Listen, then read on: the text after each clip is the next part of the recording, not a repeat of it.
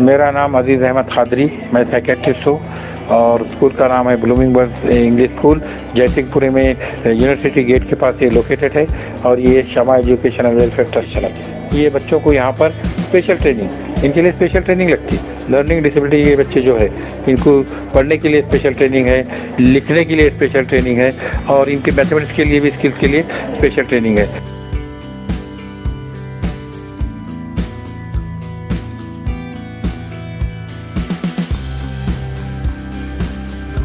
आपका नाम बताइए। मैं डॉक्टर अज़ीज़ अहमद खादरी मैं साइकेट्रिस्ट हूँ और मेरा हॉस्पिटल भी है और blooming bird English high school का मैं चेयरमैन हूँ और आपके पास में अभी कौन कौन से क्लासेस के एडमिशन ओपन है सर उस बारे में डिटेल बताइए देखिए हमारे पास तो स्कूल जो है ये केजी से लेके टेंथ स्टैंडर्ड तक है और ये इंग्लिश मीडियम का स्कूल है।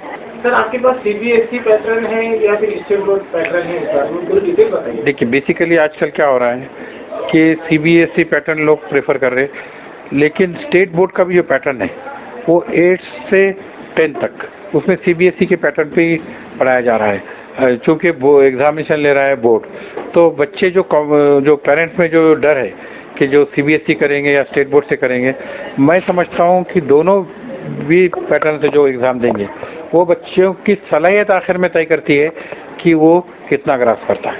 और कुदरत ने भी हर बच्चे की सलाहियत अलग रखी। तो हर एक ने अपनी सलाहियत को परख के अगर वो स्टडी करे तो मैं समझता हूँ और फ़ील्ड चुने तो वो ज़्यादा सक्सेसफुल होंगे।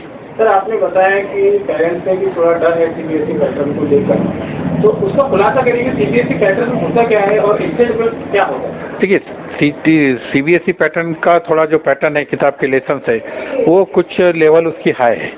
और सीबीएसई की लेवल है, एक अहरे बच्चे की भी समझ में आए। लेकिन मैंने अब तक मेरा जो तजुर्बा है इसमें, जो गौर किया, काफ़ी बच्चे जो बोर्ड पैटर्न से भी आए तो वो भी अपने प्रोफेशन में आगे जो स्किल्स है, जिनमें बच्चे अपनी सलाहियत रखते उसमें इंजीनियर डॉक्टर्स आर्किटेक्ट सभी फ़ील्ड में जाते हैं। ऐसा नहीं कि हम भी पढ़े एक ज़माने में तो कोई सीबीएसई पैटर्न नहीं था तो बोर्ड पैटर्न था।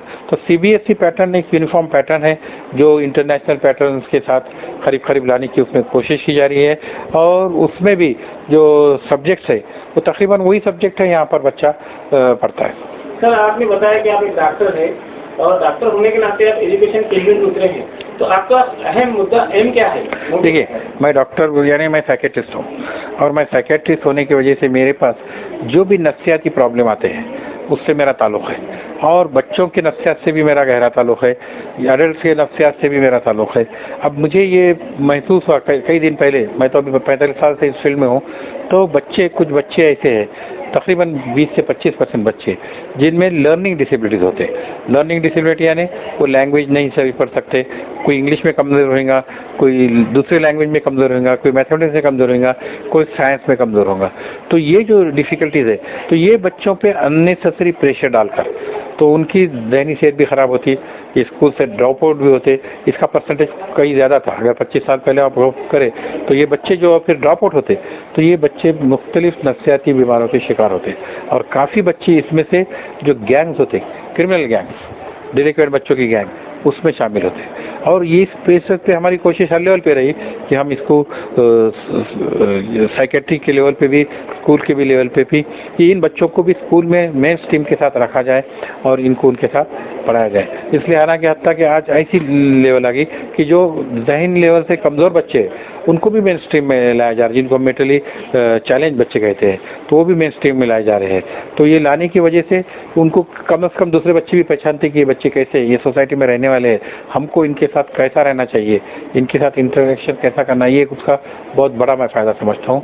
और इन बच्चों के लिए फिर हमने कोशिश की कि ये बच्चों को यहाँ पर स्पेशल ट्रेनिंग इनके लिए स्पेशल ट्रेनिंग लगती। लर्निंग डिसेबिलिटी के बच्चे जो है, इनको पढ़ने के लिए स्पेशल ट्रेनिंग है, लिखने के लिए स्पेशल ट्रेनिंग है, और इनके मैथमेटिक्स के लिए भी स्किल्स के लिए स्पेशल ट्रेनिंग है। तो उस लिहाज से हमने इसमें शुरू किए थे। और माशाल्लाह इसमें सभी किस्म के बच्चे आ रहे हैं, उसके बाद गवर्नमेंट के कानून भी चेंज हो गए उसमें। इनको काफ़ी पनिशमेंट दी जाती थी। तो ये पनिशमेंट पे पूरी पाबंदी आ गई है। तो हम भी यहाँ पर पनिशमेंट को किसी भी लेवल की पनिशमेंट हम प्रमोट नहीं करते।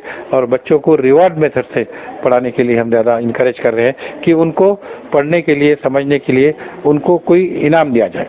सर अभी आपने बताया कि बच्चों में नफसियाती तनाव बढ़ रहा है।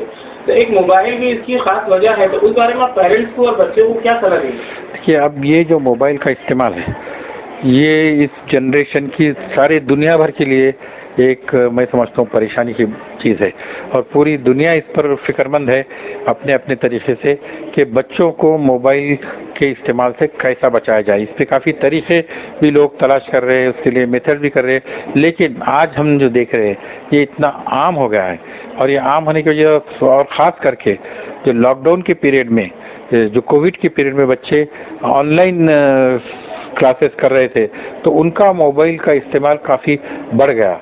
और ये मोबाइल का इस्तेमाल बढ़ने के बाद, अभी मैं स्कूल का भी कुछ सर्वे कर रहा था, कुछ बच्चे भी मेरे पास आते हैं तो अभी मुझे ये पता चल रहा है कि ये बच्चे आज स्कूल में पढ़ने में ज़्यादा इंटरेस्टेड नहीं पहले उतनी दिलचस्पी नहीं ले रहे। उनका अटेंशन स्पैन पहले के बनस्बत अभी कम है।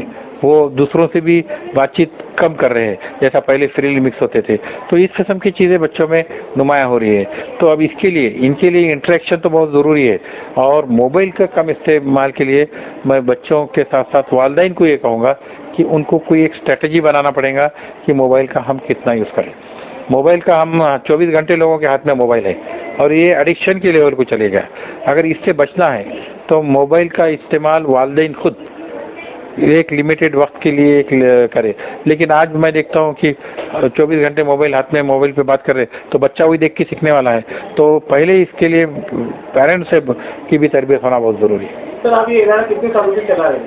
ये हमने 25 साल से हो रहा है, ये इदारा चल रहा है और माशाल्लाह ये स्टेप बाय स्टेप बढ़ता गया है। हमने इसको बिल्डिंग की वजह से हम इसको ज़्यादा नहीं बढ़ा सके और इसमें अभी गुज्तर तीन साल से हमारा टेंथ क्लास का रिज़ल्ट 100 परसेंट आ रहा है।